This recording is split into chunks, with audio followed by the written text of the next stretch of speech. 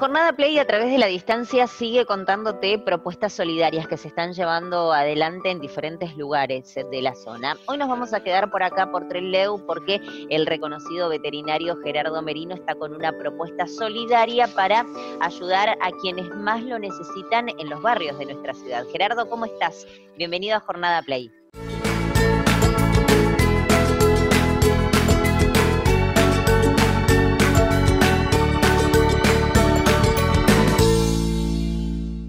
Nosotros veníamos ya hace bastante tiempo haciendo alguna actividad solidaria con aquellos lugares más vulnerables en cuanto a ayuda, ropa, eh, comida y algunas eh, cuestiones puntuales.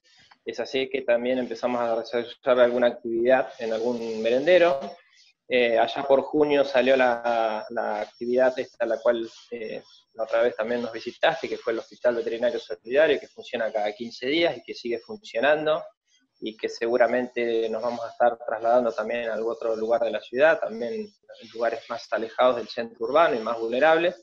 Y bueno, a, raíz de que también hay mucha más necesidad, eh, estos dos merenderos que se encuentran uno en el barrio Inta y otro en el barrio Moreira, de acá de la ciudad de Trelew, no solamente la necesidad, sino por una cuestión también de espacios, que también lleva la pandemia a tener más distanciamiento y demás. Eh, ellos estaban un poco con ayuda y un poco a pulmón realizando una ampliación eh, y bueno, y se encontraron que, que bueno, llegamos al, techo y, falta techar. Así que eh, decidimos eh, comenzar una campaña de colecta para comprar chapas para poder techar estos dos merenderos y que bueno, puedan tener un trabajo solidario mucho más, más cómodo y más digno. Bueno, ¿y cómo se va a desarrollar esta campaña? ¿Cómo puede hacer la gente que quiera colaborar para la adquisición de estas chapas para el techado de estos dos merenderos? Bueno, lo pueden hacer mediante la donación de chapas mismas, alguno que tenga alguna chapa que, quiera comprar o que quiera donar, que tenga sin uso. Lo puede ser a través de un contacto por WhatsApp. Nosotros le podemos generar un link de pago, de mercado pago, y pueden hacer un aporte solidario. O bien acercándose, también podemos nosotros pasar a buscar. Así que cualquier, eh, cualquier manera eh, podemos eh, realizar la colecta y se contactan a través de mi WhatsApp Bien, ¿ya ha habido respuesta por parte de la gente? ¿Se ha mostrado interesada en colaborar, en sumarse, en ayudar? La verdad que la gente de Trelog es muy solidaria en ese sentido y uno agradece también eso. Cuando lo armamos al flyer y lo largamos automáticamente ya empezaron a mandar algunos mensajes eh, y a colaborar, así que ha tenido una muy buena repercusión. Creo que va a andar muy bien y que pronto vamos a poder lograrlo, así que estamos muy contentos eh, de poder hacerlo.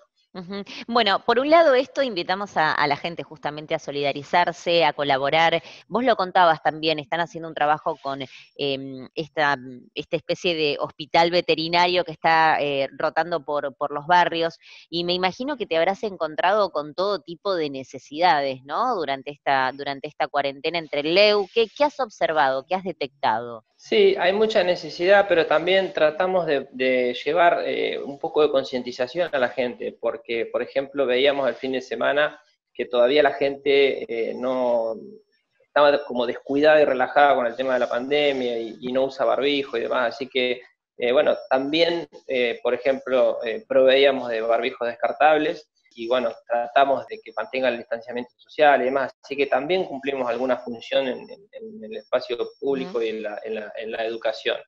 Pero bueno, sí, necesidades eh, hay muchas, eh, la verdad que la ciudad ha crecido muchísimo, hay mucha, mucha necesidad de infraestructura también.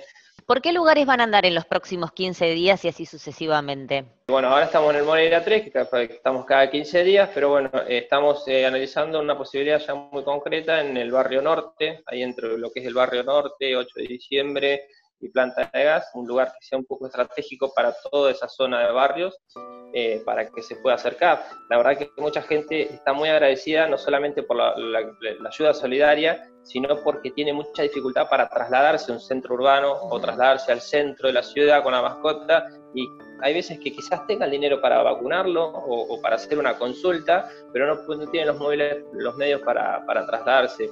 Y bueno, el hecho de estar ahí presente eh, es una, una gran ayuda y la gente se siente muy, muy contenta.